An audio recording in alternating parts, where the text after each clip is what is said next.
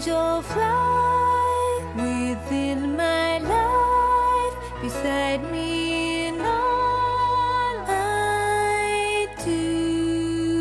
beautiful people. I'm Anna Grace Taylor, and welcome to your weekly angel reading for November 16th through to the 22nd.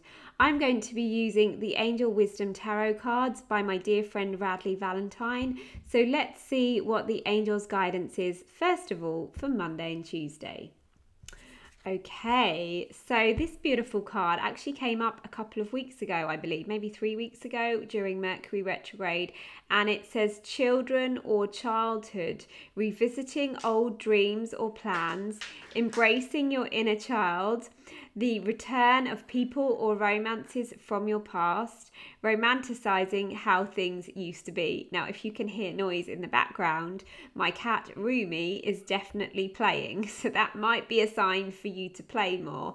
However, this card is also remembering that reviewing the past is a gorgeous thing if it means that we uh, tapping into that playful part of us, the part of us that needs healing, the part of us that needs a hug. All of that is really beautiful, but we don't want to stay stuck in the past. We don't want to, you know, stay in that, oh, I wish things were how they used to be, or I wish things could have been different. It's more about honoring our feelings, honoring the past so that we can then move forward, especially because we're all still feeling that new moon in Scorpio energy that was going on yesterday. And it's really about us healing emotionally so that we can then welcome in the new. Okay, so this card is beautiful.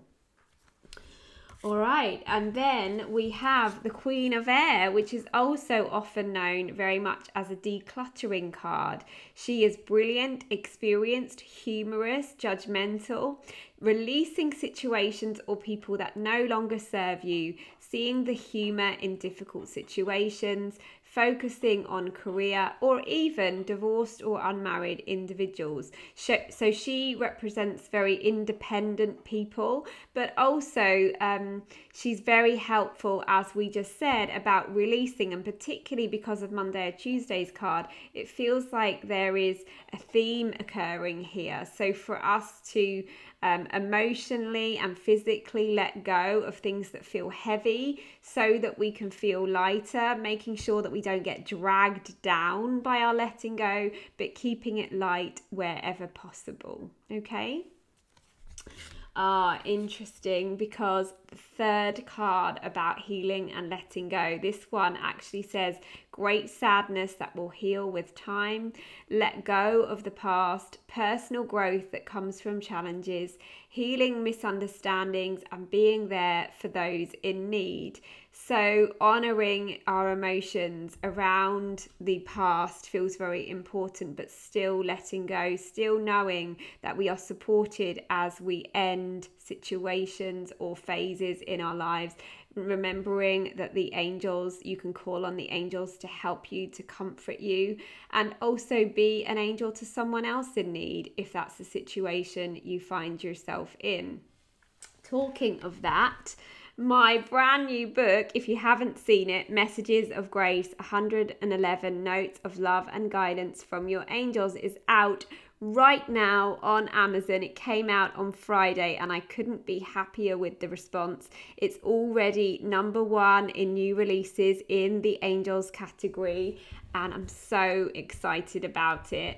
Um, I'm actually going to be live on Radleigh Valentine's Facebook page this Wednesday at 4 pm UK time, 11 am Eastern, talking about the book and sharing lots of fun with him, as well as a couple of different lives. First of all, with my friend Kat on her Facebook page tomorrow, Tuesday, and then my friend Steve Wentworth on Thursday. So if you would like to um, listen, watch any of those, us having fun, sharing the book, I would love to see you there.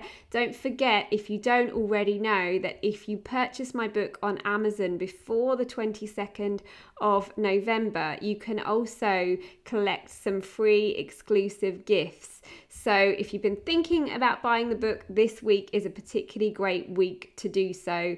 Just uh, visit the link below that I'll post below, um, order the book, and then co- go back to the website to enter your details, and you'll receive the free gift. So I just thought to end, I would share a message from the book. You can actually just turn to any page in the book and know that it's the message that's meant for you.